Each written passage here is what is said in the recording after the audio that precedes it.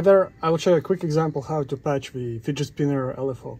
So first, let's get just a one oscillator out of here and I will take a sine output, patch it here. So it's a frequency coming from this.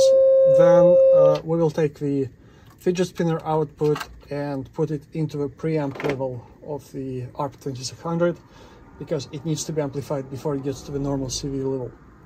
So, and then patch the output of this into the LFO.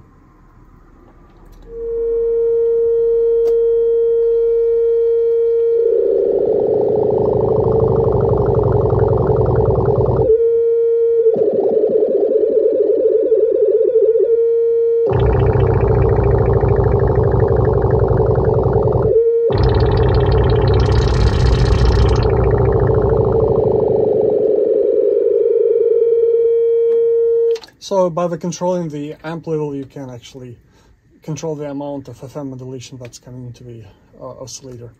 Now, another quick example, we just use the square output here, same as before, and fidget spinner patched through the envelope follower. So that goes here, and again, back here.